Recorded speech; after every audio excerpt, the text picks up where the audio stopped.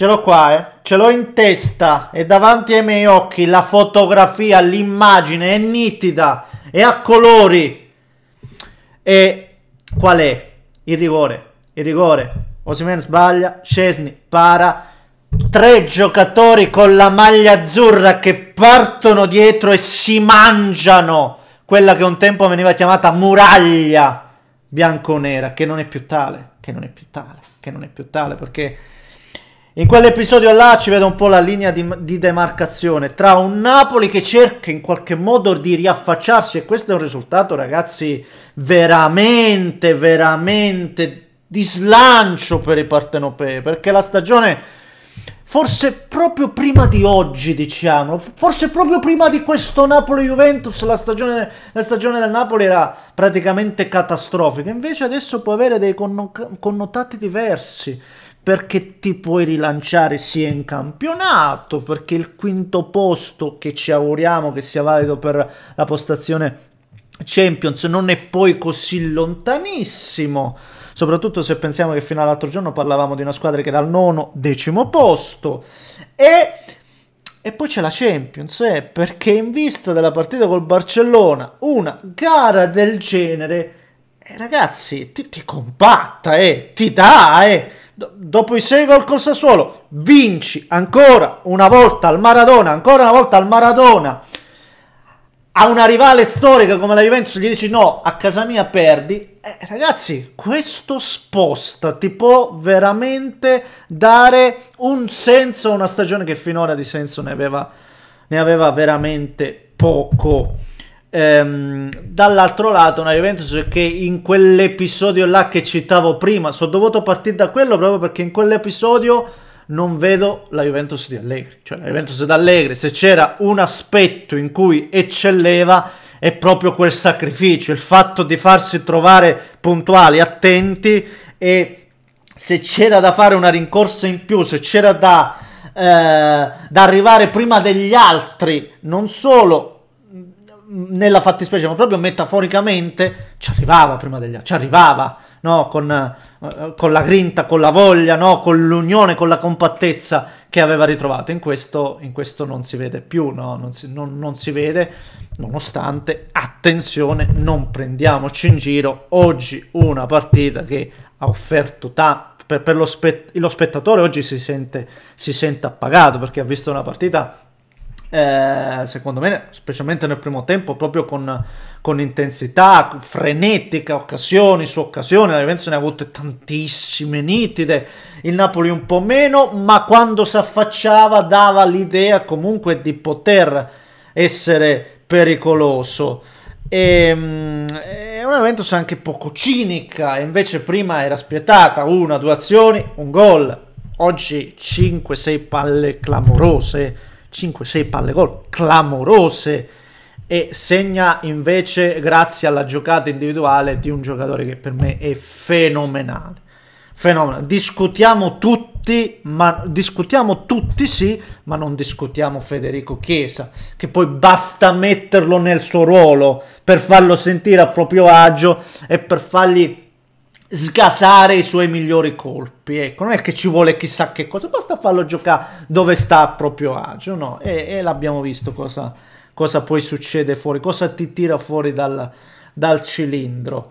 Ehm, riparto dal Napoli, poi parlo, parlo anche della Juventus. Il Napoli si deve aggrappare tantissimo a questa, a questa partita. Ci sono tanti aspetti indubbiamente da migliorare, non prendiamoci in giro. Dietro il Napoli resta quasi un colapasta, perdona, forse eccessivo come termine, ma voglio essere crudo proprio per inquadrare il problema, perché il Napoli dietro soffre troppo. Oggi una squadra leggermente più cinica, veramente iniziava ad andare sotto e la partita magari acquisisce connotati diversi e poi mh, mm, ti, ti, ti, ti, viene meno anche mentalmente, no? Ancora una volta, no? La, la, se devi vedere la partita sempre in salita, sempre uno scoglio, si, si, fa fatica, il fardello diventa maggiore e tu ci arrivi sempre stanco all'appuntamento. Invece Invece non è andata così, però dietro bisogna, bisogna, lavorare meglio, deve lavorarci, non lo so, Calzona, è anche una questione di giocatori individuali, ecco, onestamente, se, se non prendo le marcature, se il centrocampo alcune volte non fa filtro,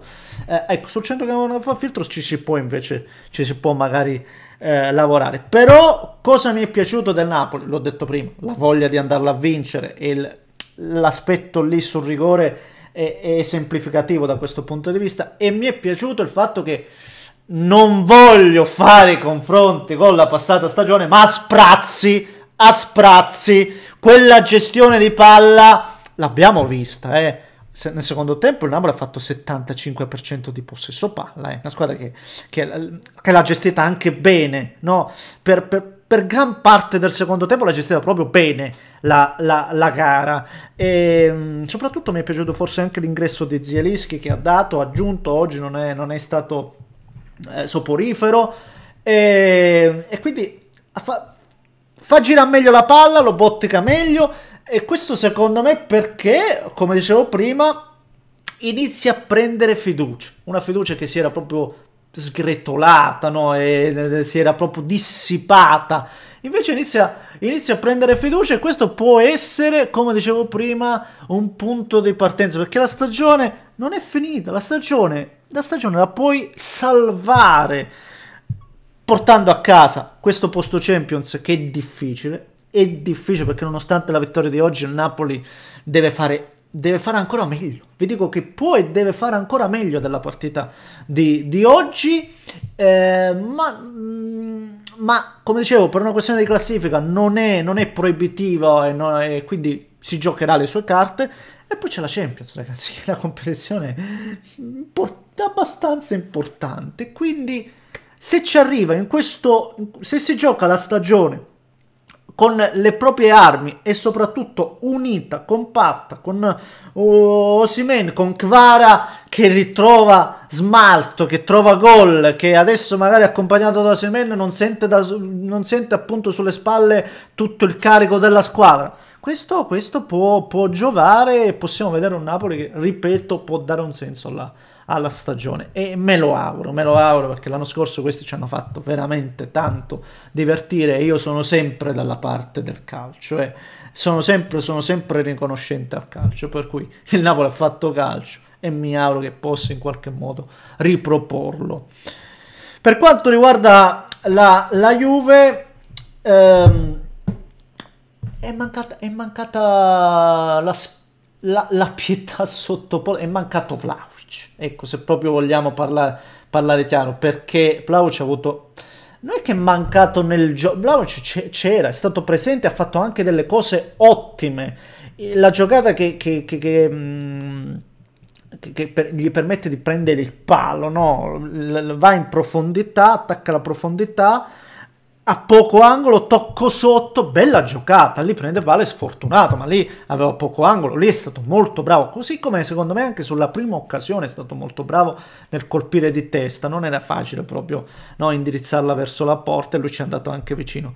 Quella che non deve sbagliare è la terza occasione, quella che gliela passa alla, non mi ricordo, Meret la dà a chi?